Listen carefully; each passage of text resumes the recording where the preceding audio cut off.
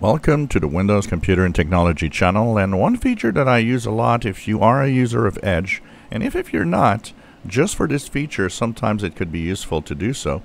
Um, there could be other browsers that do it. I know Chrome does it but it seems to be very different. It uh, lets you send pages but uh, for my experience, maybe because I'm not using Chrome much, it actually just wants to send it to my phone.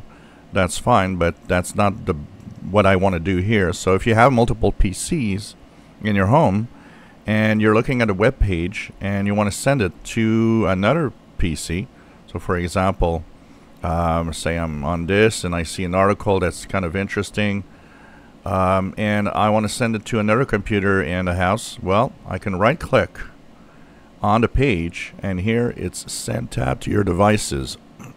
here you will see the devices that were active today or not, in which you can actually send your tab to. And it works really well.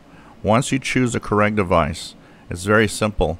Edge will immediately pop up a message that's going to tell you that a tab is being sent to you from another device.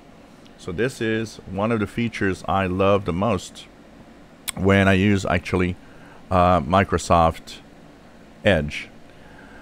So um, I'm going to give you an example here. I'll um, basically go into the uh, Edge browser on my other computer and I will actually send one of the tabs over to this computer so you see what happens. So here I've selected the same option that I selected here. I select set tab to your devices on the other computer, but I'm going to send it to this computer. Now you might notice I have Dev, I have Ultrashiba, I have so many.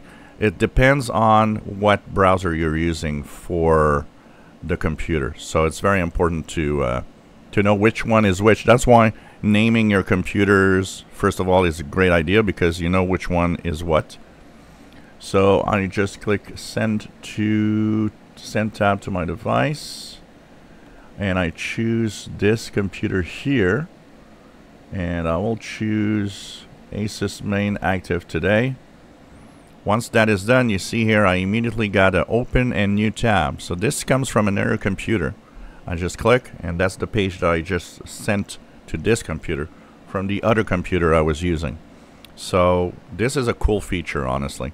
Um, and you just have to know which device is which in the list of devices you can send the tab to. So this is a cool feature I love in Edge that I use a lot. If you enjoy my videos, please subscribe, give us thumbs up. Thank you for watching.